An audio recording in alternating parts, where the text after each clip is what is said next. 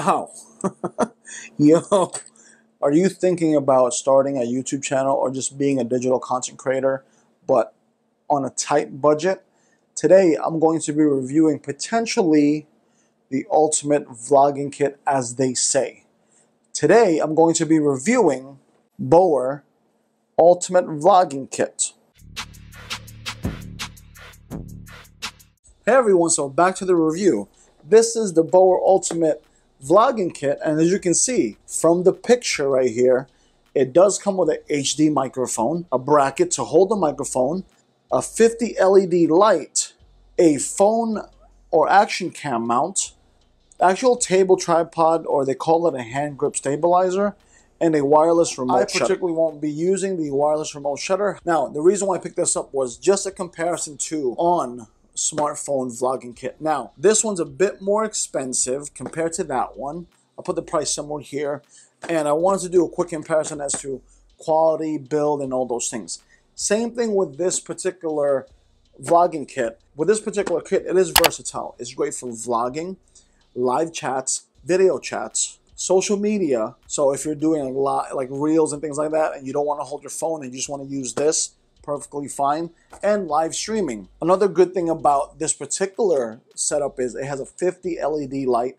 It has diffusers for color, so it is not an RGB light by any means.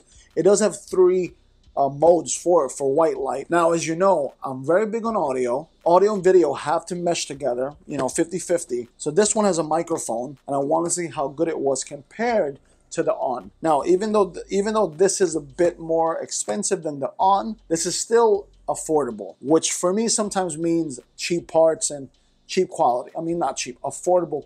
Is it affordable quality? Fine. More, you know, cheaper quality products compared to like a Rode Video Micro, like what I have on here, or something like this Movo that I have on here. But you are the ultimate judge. You are buying this with your money. So I'm going to do a quick unboxing of this particular unit so let's go over quickly what you are getting in this particular setup right here. These are the diffusers right here. Now the diffusers, they feel very hefty. They're not like flimsy, which I really like, which I will test this out later. You get your charger right here. You get the 50 LED light right here. But however, I mean, for what it is, it is plastic. It is very light, but it is still plastic. It is very light. I don't know how powerful it is, but it, this can be fragile. Durability wise, I don't really know at this particular moment, but hopefully it'll be better. I believe for your shotgun micro here, let's put that to the side. This is your mount. This is your mount. I might be able to repurpose this. Pretty cool.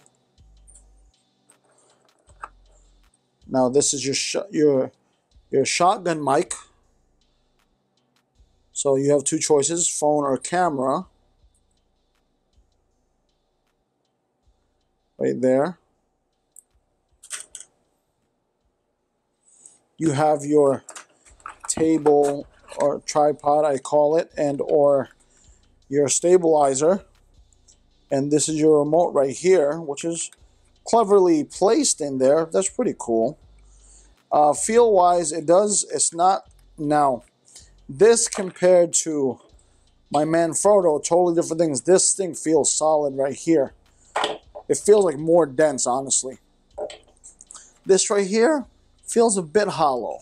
I would have to, and I was correct. It's a bit hollow because of whatever, however that, however these are like used right here in the inside right here. And then we can twist right here. We have a 360 ball joint right there. Okay, we'll play with that later. And then you have your holder you have your holder for the light, for the microphone, and your phone goes right in here in the middle there. Now, what we are missing, oh boy, I don't see it. We are missing, I don't know where it is, the phone action mount. Because I don't see it here. Nothing left in the box. Oh, wait. Is it cleverly hidden in here? There it is. Uh, that is pretty cool, Bower. You cleverly hid it in there. I was almost tricked. But let's put this all together, and from there, we'll do some vlogging. So, I'm going to put this together real quick, and first impressions of touching it and feeling it, it is plasticky, obviously, for the price. But most, um, even higher end units are plastic, but you can feel the difference in plastic. This one, you can feel the difference in plastic. Let's just put it that way. Now, this is going to be, I, this is this isn't this isn't battery powered. Where does the battery go for this sucker right here? Okay, okay. This is going to be taken. If you pull it to the side right here, there's a little side little situation there, and you can see the minus and plus sign here. And basically, you line it up just like most batteries or all batteries. We're just gonna line it up right there. Now, drawbacks, cons. I don't know where you're gonna get. This is not a really common battery, so just so you know. So, I I hope Bower can correct that. Bower, Bower can correct that because this is it's a bit off. You know, it's a bit weird. Okay. Okay, it only turns on I don't know if you see this. It only turns on when I put it onto camera. But if I put it to phone, that's odd. I don't know if you see that right there. I if I'm I'm gonna I'm gonna put it on the phone mode. I don't know. I don't know. So that might not be a good look. And another con is it doesn't come with adapters, 3.5 adapters to go to the it doesn't come with 3.3.5 millimeter adapters to go to the phone. So you would have to get your own adapters to put it to an iOS device, unfortunately. And we're gonna secure that.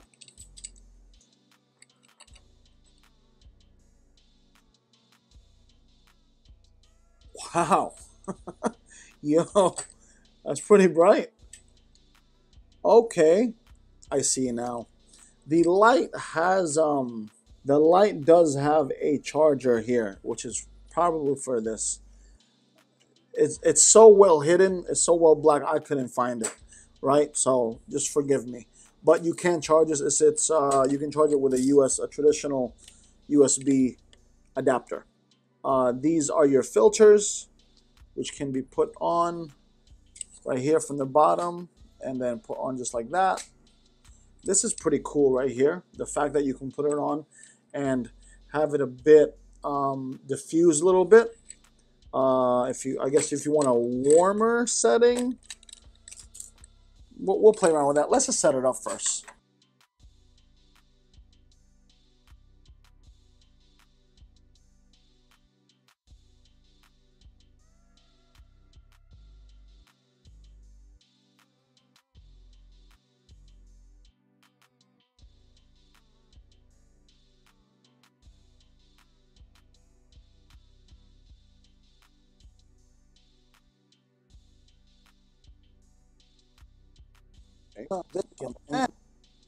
The true test here, oh, oh, the true test here is uh, putting my phone in and taking it for a spin. So there we go. There you have it. This is your setup. Those are my snacks. And this is the hotel mess. But here we go. Perfect.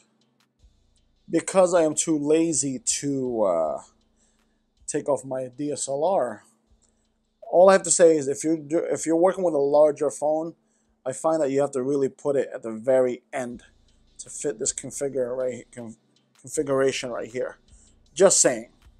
Okay, so uh, I pretty much have it on the stand right here on the Bower Ultimate Vlogging Kit. The setup looks very clean, looks very professional, honestly. I have really nothing to say, like I have really have no cons about that. Literally, this thing looks like a legit little setup. The light is amazing for the um, for the setup. If you were never gonna buy anything or everything breaks, just having the light is, is pretty good. Whatever you're seeing right now is the lowest setting. So uh, let me go run through it real quick. So that's uh, that's that's like mid, and that's the highest setting. That that's pretty bright, honestly. That's pretty bright. Let's throw in the diffusers and see if it softens the light a little bit. So that's so that's the diffuser. That's the light with the diffuser on on the highest setting. So let me just this is the lowest setting right now with the diffuser and this already looks amazing. I'm kind of looking at my watch and seeing the a bit of the quality and I like it. That's mid setting, which will probably be on that setting, but the diffuser softens a lot, I think, at the present moment of just me looking at it right now. And but let me let me throw that off. Let me throw on another diffuser. This is I guess the warm diffuser. I guess this is their approach to warm. Right now, this is this their approach to warm. Yeah, this is their approach to a warmer look.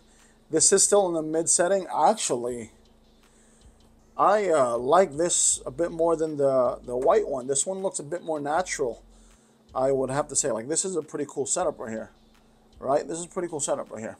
And let's try blue. I believe the blue is probably more than likely going to be more that cooler, obviously cooler, but I don't really see the necessity in the blue if you're diffusing it with a white already, but I could be wrong. I'm not a photographer. Uh, and this has a super cool feel, like like cool vibe right here.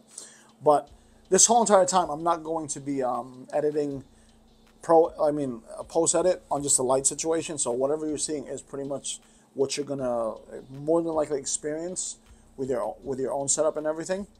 But yeah, let me throw it on to um, yeah, that's uh pretty cool. That's pretty cool.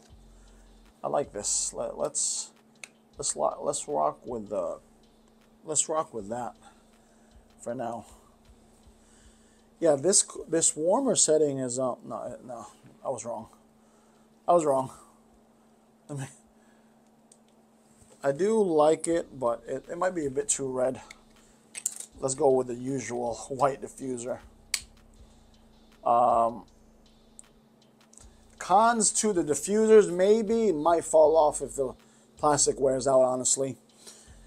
Outside of that, it's it's a good working situation. Now, whatever whatever audio you're hearing, this is the Movo right now, the Movo dual microphone system. The review is going to be somewhere up here. This is not the onboard microphone. Oh, this is not the microphone that it came with.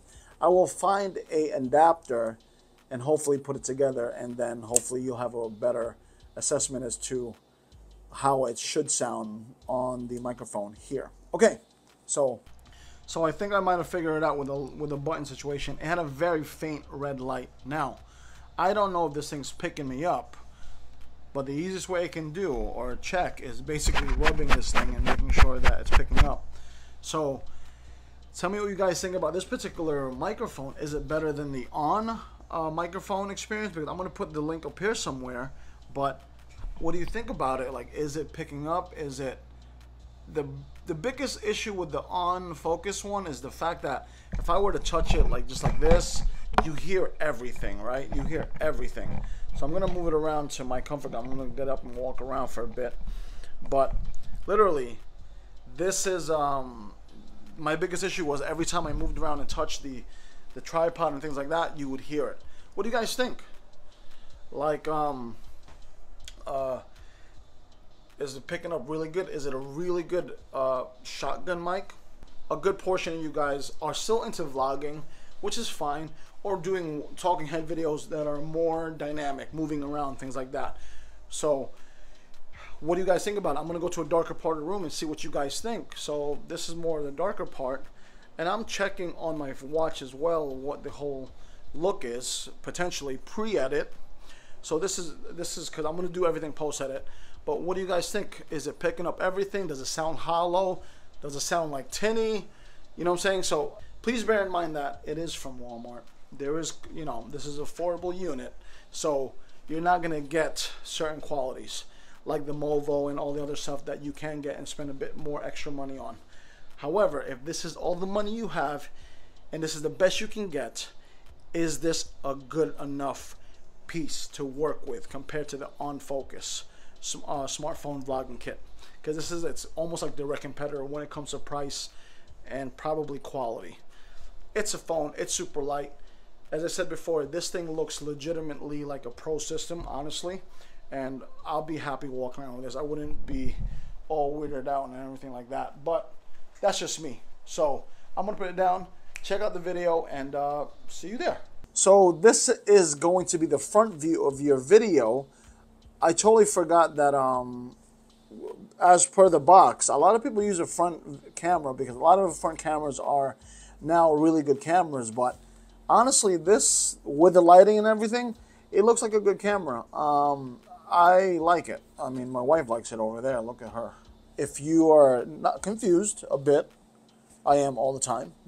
This I'm using the Movo right now. I'm not usually I'm not using this one, but however, that microphone that's on here already is still a good phone. Honestly, I might even be tempted to consistently vlog from this setup because I'm actually uh, really impressed with it. Honestly, um, yeah, because I rarely I rarely uh, use a front camera only because of lighting issues and obviously quality issues. The rear camera is always going to be the best camera, but I, I know a lot of people do reels and all those things like that. So that's something that you have to you know counter for. So this is the ultimate vlogger kit right here. Tell me what you guys think. Hey everyone, so I hope you like the review on the Bower Ultimate Vlogging Kit. So I checked post edit what the video looks like as well as how it sounds like, which is very important.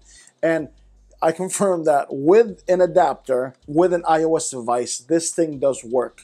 It does pick up better than the on-focus microphone, I feel, and I believe this is a better purchase than the on smartphone vlogging kit. This, I believe, would be a really great entry-level system for those of you vloggers out there or people who want to do video conferencing. I think Bower did a good job minus this right here. I can't really say for the quality of it because price. However, for what it offers, I think it's a great deal. I really do. You can't really go wrong. I, I, I don't think so. Because you have the audio, you have the lighting. So for live streaming and or reels, everything this says on the box, I think it does hit all those points, right? All the the, the 3.5 millimeter adapter, that's my issue because I have an iOS device. But outside of that, this is a good setup. So I'm going to put the links down below if you guys are interested in purchasing this. But I would have to say this is a good purchase. And I'll see you guys next time on the next review. Take care. Bye.